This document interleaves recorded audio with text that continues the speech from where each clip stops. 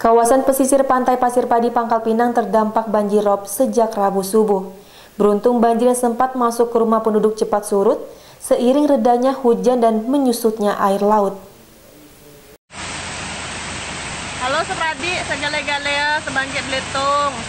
Nih, sekarang nih, pantai Pasir Padi, air lautnya pasang. Rekaman amatir dari kamera ponsel warga memperlihatkan gelombang tinggi yang menerjang pesisir pantai Pasir Padi sekitar pukul 9 waktu Indonesia bagian Barat. Akibat gelombang ini, rumah penduduk yang berada di sepanjang bibir pantai terkena dampak kemasukan air dengan ketinggian sepinggang orang dewasa.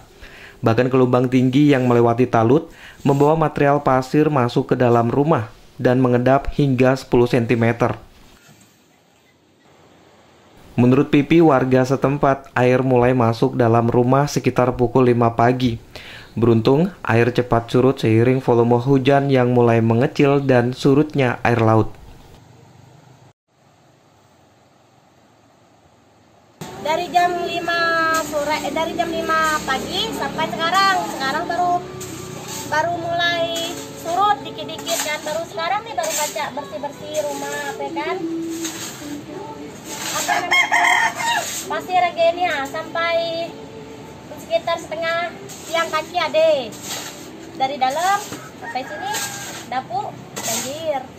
Tadi ketinggian air masuk ke rumah sekitar setengah badan? Berapa lama itu? Sekitar sejam lebih dikit. Banjir tadi ya. Itu apa sebabnya banjir? Dikarenakan air laut tuh meluap jadi air dari belakang meluap ngendek Memang sudah sering gitu sebelumnya? Uh, dah, uh, setiap tahun yang paling parah tahun ini. Tahun-tahun kemarin tadi. Hujan hingga kini masih turun di sejumlah wilayah di Bangka Belitung, termasuk di Pangkal Pinang. Warga dihimbau untuk selalu waspada dan siaga terutama masyarakat di pesisir.